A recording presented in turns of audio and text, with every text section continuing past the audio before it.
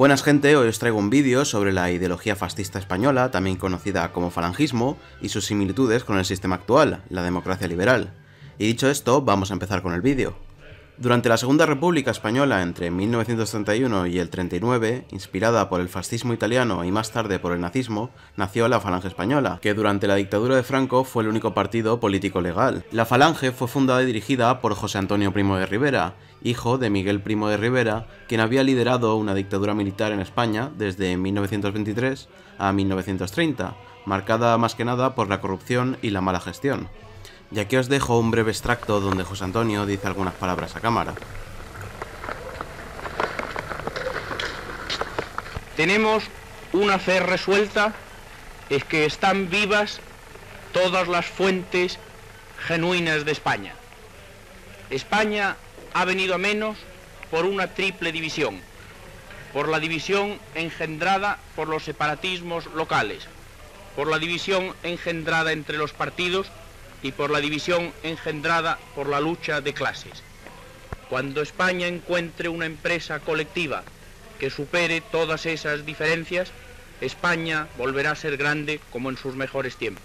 El partido se fundó en 1933 y un año más tarde se uniría con las Juntas de Ofensiva Nacional Sindicalista, también conocidas como JONS, que fueron fundadas por Onésimo Redondo y Ramiro Ledesma, dando origen a un cambio de nombre en el partido, siendo este Falange Española de la JONS. Y aquí es donde podemos desviarnos por dos puntos de vista completamente diferentes el de la burguesía económico-empresarial o el del propio José Antonio. Empezando por el de la patronal, la fundación de Falange respondía a los intentos de exportar el modelo fascista italiano de Benito Mussolini, que tanto éxito estaba teniendo. Desde la óptica de los grandes capitales se veía con buenos ojos un partido que frenara la lucha obrera y además los movimientos de izquierda. Desde los sectores mencionados se consideró que la figura de Primo de Rivera, hijo de dictador, cumplía con los parámetros que se buscaban, y era un líder con carisma al que el fascismo español pudiera seguir. Durante la Segunda República, Falange contribuyó a la gestación de un clima propicio para la sublevación de distintos sectores militares, y debido a que no tenía demasiados apoyos a nivel social, su actividad se basó en propiciar enfrentamientos con organizaciones de izquierdas, cometiendo diversos asesinatos. Pese a ser un partido financiado por el sector empresarial y ligado ideológicamente a otras organizaciones y partidos de derecha, Falange se declaraba en contra del sistema capitalista, algo que ha sido entendido a posteriori como propaganda obrerista, no negando con esto su carácter social, ya que buscaban alcanzar una élite que llevara las riendas por el bien común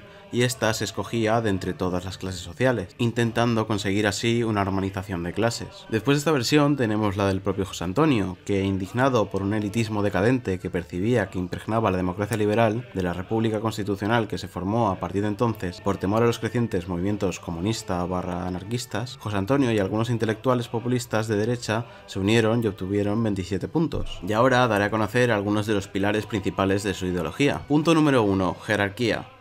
Falange pensó que la democracia liberal se basaba en un falso sentido de igualdad en una sociedad inherentemente desigual, y propuso reemplazarla con una estructura abiertamente jerárquica con élites gobernantes que gobernaran por el bien de todos. 2. Disciplina. Se esperaba que las élites fueran disciplinadas en su propio compromiso e impusieran disciplina a las masas para trabajar para la patria y conocer su lugar en la jerarquía a través de la educación, el servicio militar obligatorio y políticas laborales exigentes, algo típico del fascismo. Número 3. Catolicismo.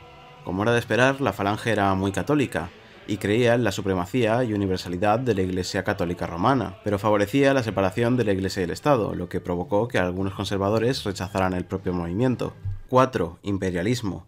La Falange tenía una creencia idealista en un imperio español trascendental, construido entre Fernando de Aragón y Felipe II, que yacía dormido en el Escorial esperando a ser despertado, estrechamente conectado con el catolicismo, Falange pensó que el imperio era un destino divino, y además de esto, solo la unificación de la patria podría lograr este destino. El imperio venidero, junto con la Italia y la Alemania nazi, dominaría en Europa y controlaría en el mundo. Punto número 5. Nacional sindicalismo.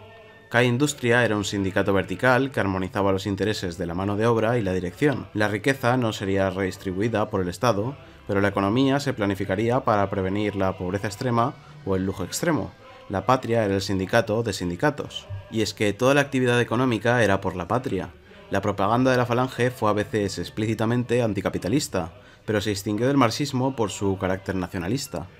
Consideró la lucha de clases como un anatema para unificar a la patria y usó su concepto de jerarquía para justificar la distribución desigual. Por supuesto, como movimiento militante de extrema derecha o tercera posición, estaba respaldado por élites financieras en diversos grados, por lo que, al igual que la Italia fascista, que también fue una fuente importante de financiación para Falange, su concepción del Estado totalitario corporativo favoreció al capital bajo la retórica populista. La falsedad de la promesa populista del fascismo se hizo evidente bajo Franco después de la guerra, cuando la vieja élite gobernante se hizo aún más rica y el poder empresarial y financiero se concentró en unas pocas manos, ya que, a opinión de unos o de otros, si el movimiento se desvirtuó es discutible, y es que las mismas familias pudientes de ese entonces todavía llevan las riendas a día de hoy. En cierto modo, el nacional sindicalismo falangista se asemeja al payesesco posizquierdista actual en muchos aspectos, como contradicciones absurdas que favorecen a la vez el nacionalismo extremo y una concepción amorfa de la clase trabajadora subordinada a ese ideal nacionalista. Y no podemos dejar pasar su ferviente anticomunismo, que está estrechamente relacionado con los puntos tratados anteriormente.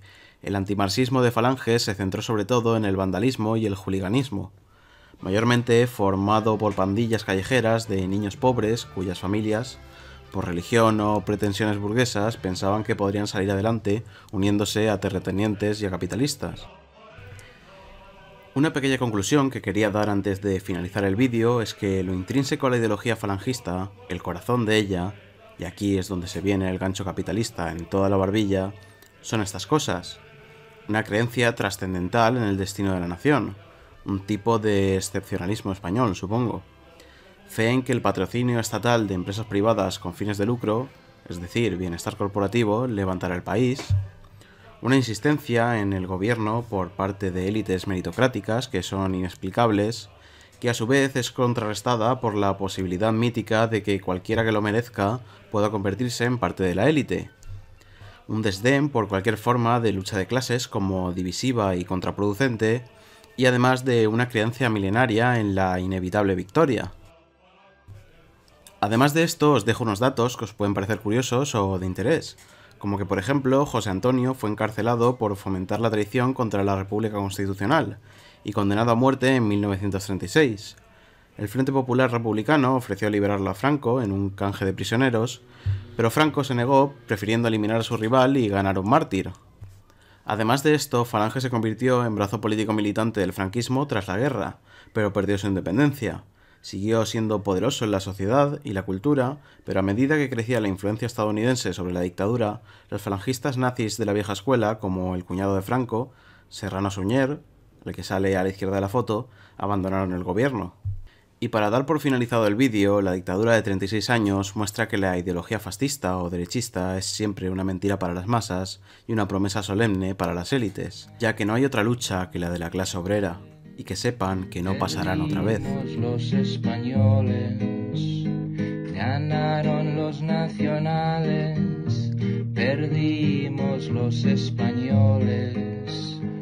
Ganaron los capitales, la guerra contra los hombres, ganaron los capitales, la guerra contra los hombres, perdimos los españoles. Ay, capitán general de la tierra y el aire y el aire del mar. Las cadenas son de hierro, de madera al ataúd. Las cadenas son de hierro, de madera al ataúd. Si la guerra trajo muerte, la paz trajo esclavitud. Si la guerra trajo muerte, la paz trajo esclavitud. De madera al ataúd.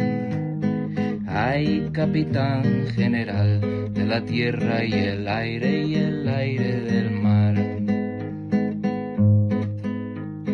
Obreros y campesinos, fusiles contra el patrón.